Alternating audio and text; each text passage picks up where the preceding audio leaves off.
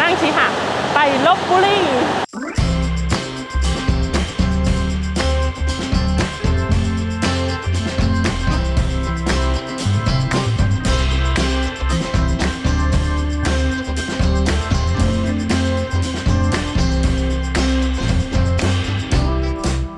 ตอนนี้อยู่ที่สถานีหัวลำโพงฮะ จะนั่งรถไฟชีหะ ไปเที่ยวลบบุรีรถไฟชีหะเนี่ยก็อันนี้เป็นขบวนนำเที่ยวพิเศษไปลบบุรีจัดด้วยกัน 4 วัน ก็ตั๋วไปกลับหัวลำโพงลบบุรีเนี่ยก็ 599 บาทรวมกิจกรรมเที่ยวนั่งรถรางแล้วก็มีอาหารว่างให้บนรถไปดูกันดีกว่าฮะ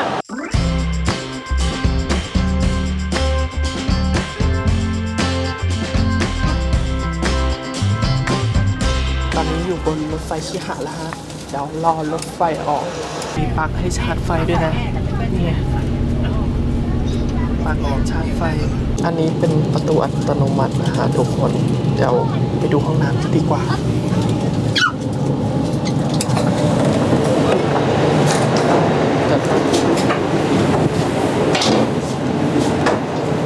เดี๋ยวเราไปดูห้องน้ำกันนะ อันนี้ห้องน้ำชายอ๋อผู้ชายผู้หญิงว้าวเฮ้ยนี่ อันนี้ภายในห้องน้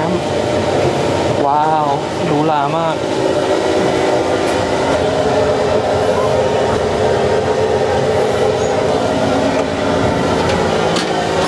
อันนี้ภายภายในห้องน้ำนะฮะ แล้วเดี๋ยวนะ รู้สึกว่าจะมี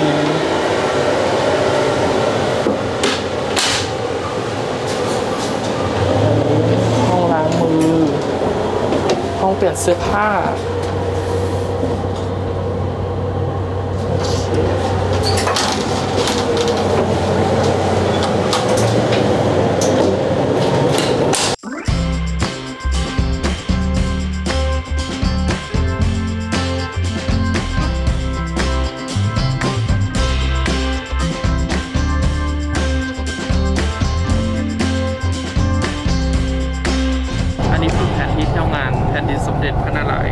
ายณ์หรืองานวังที่ลบบุรี อันนี้ปักแรกเวลคัมดิ้งกันรถรางนะครับรถรางซ้ายมือนะครับรถรางอยู่ตรงนี้นะครับรถรางอยู่ตรงนี้เลยครับจอดรอเราแล้วครับ เชิญครับ ถึงลบบุรีแล้วปะลงกัน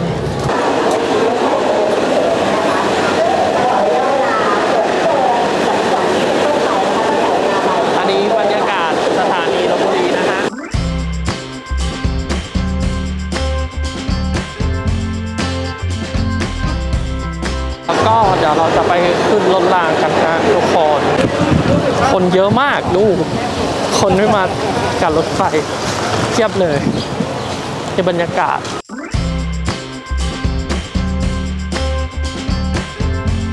อันนี้คือรถล่างที่จอดรออยู่ไปฮะคันไหนก็ได้ขึ้นเลยคันนี้เลยฮะโล่งๆ ใช่นั่งหัวขบวนเลย เราหยุดหายไปหลายปีนะครับ ปีนี้ก็เป็นต่างกันยิ่งใหญ่ครับ เดี๋ยวถ้า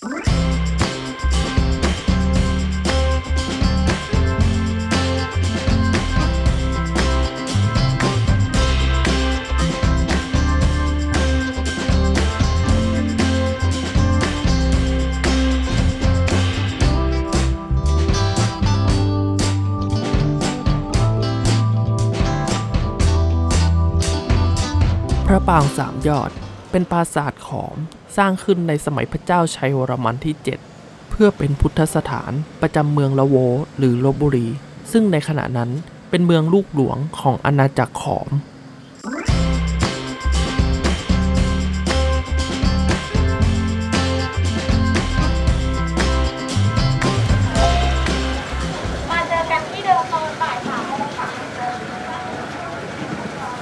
อันนี้เขาจอดให้ลงมาที่บ้านวิชัยเยนมาลงมาถ่ายรูปดูข้างในฮะไปโหมันใหญ่มากเลยนะเนี่ย บ้านวิชาเยน หรือบ้านหลวงรับราชทูตสร้างขึ้นเพื่อใช้รองรับราชทูตชาวตะวันตก ที่มาเฝ้าสมเด็จพระนารายมหาราช ต่อมาสมเด็จพระนารายณ์ ทรงพระราชทานบ้านนี้ให้แก่เจ้าพระยาวิชัยเยน ขุนนางชาวกรีก บ้านวิชาเยนแบ่งได้เป็น 3 ส่วน ด้านตะวันออกเป็นบ้านพักคณะราชทูตชาวฝรั่งเศส ด้านตะวันตกเป็นบ้านพักของเจ้าพญาวิชาเยน และเท้าทองกีบม้าภรรยา ส่วนตรงกลางเป็นที่ตั้งของโบสถ์ศาสนาคริสต์ที่เป็นสถาปัตยกรรม แบบเรเนซองส์ผสมกับสถาปัตยกรรมไทย แห่งแรกของไทยและของโลก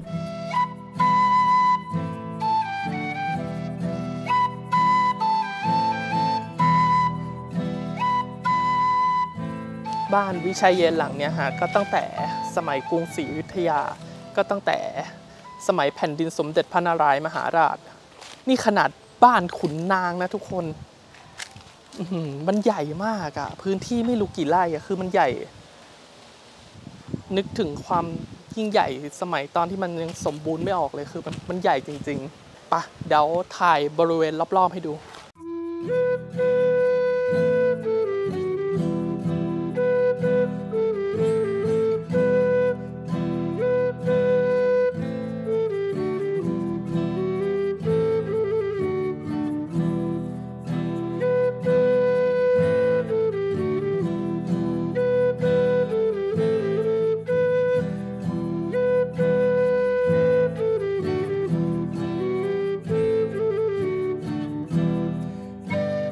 รถรางเนี่ยก็จะจอดให้เราชมบ้านวิชัยเย็นเนี่ยประมาณ 20 นาทีก็เดินดูประวัติศาสตร์รอบๆ บ้านวิชัยเย็น เดี๋ยวไปที่ต่อไปฮะไม่รู้ว่าเขาจะพาไปไหนเดี๋ยวรอขึ้นรถรางไปต่อ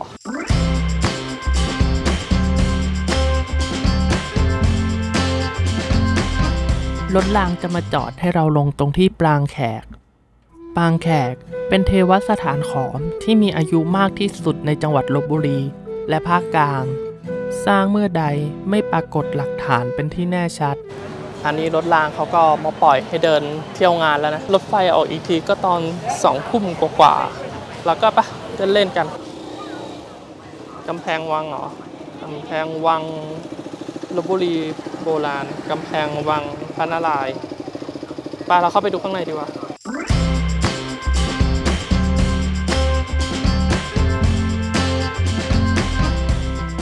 พระราชวังนารายราชนิเวศ หรือวังนาราย สร้างขึ้นในสมัยสมเด็จพระนารายมหาราช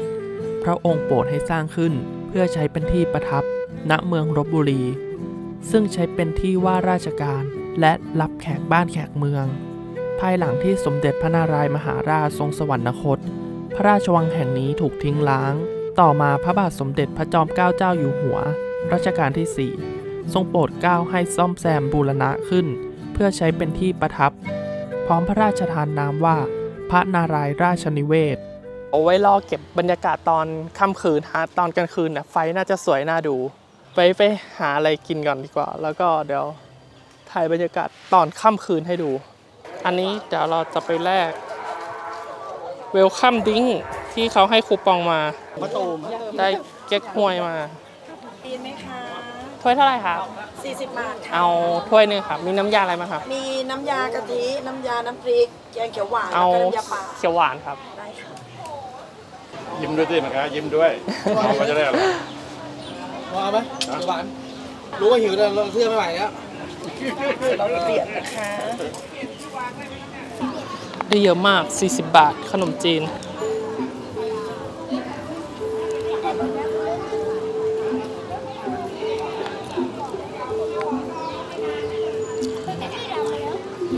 อร่อยด้วย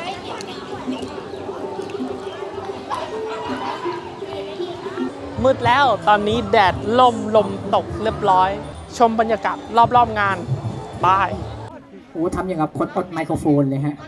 โอ้อดร้องมาจากไหนไม่รู้นะฮะเออนะฮะโอ้โหติดขึ้นมาอย่างกับแม่เหล็กเลยครับ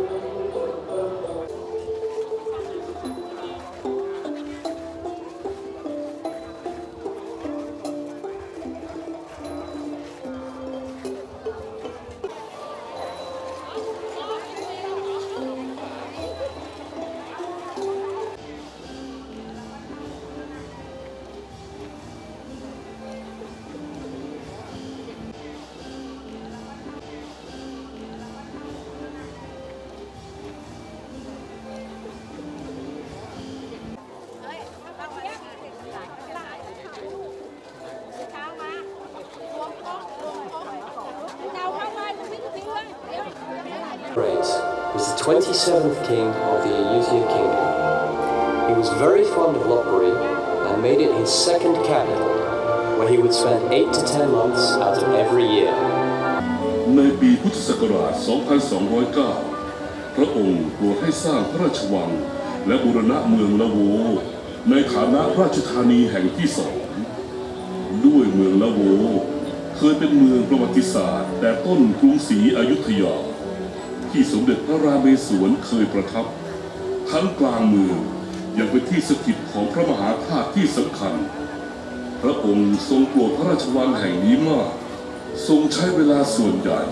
มาประทับที่พระราชวังเมืองละโวเป็นดิน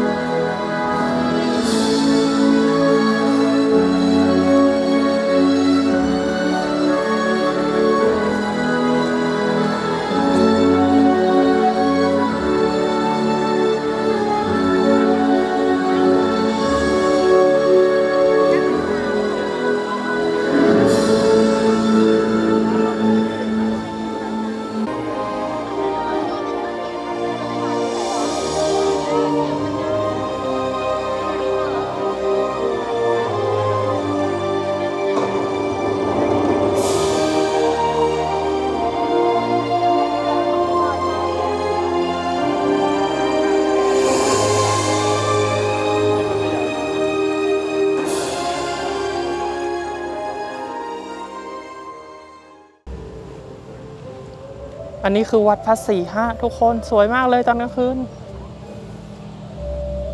สวยอะ วัดพระศรีมหาธาตุเป็นวัดอารามเก่าแก่ ตั้งอยู่ตรงข้ามสถานีรถไฟ สร้างในสมัยใดไม่ปรากฏหลักฐานแน่ชัด แต่มีการปรับปรุงซ่อมแซมหลายครั้ง ทั้งในสมัยสมเด็จพระมหาจักรพรรดิสมัยสมเด็จพระราเมศวร และสมัยสมเด็จพระนารายมหาราช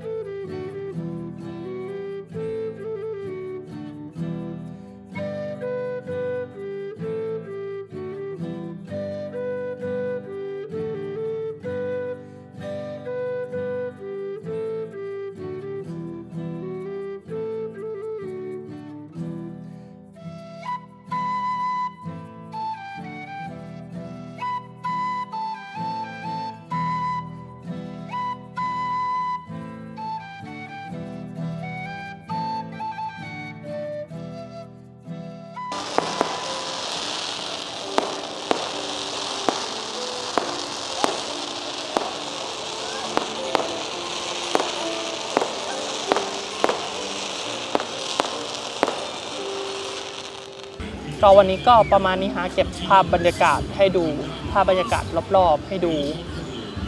แล้วก็ใครชอบก็ลากันตรงนี้เนาะใครชอบคลิปนี้ก็ช่วยกันกดไลค์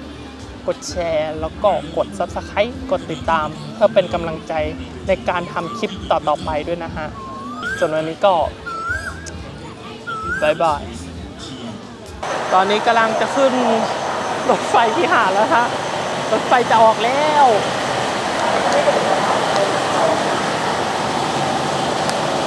ไป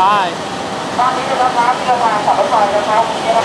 คันที่หนึ่งนะครับตอนนี้นะครับคันที่หนึ่งคันที่สองคันที่สามนะครับเรียงเลยนะครับหนึ่งสองสามสี่นะครับ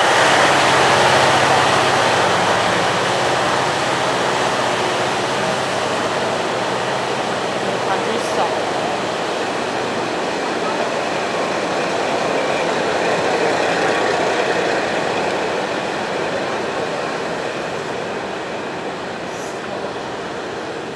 คันที่สาม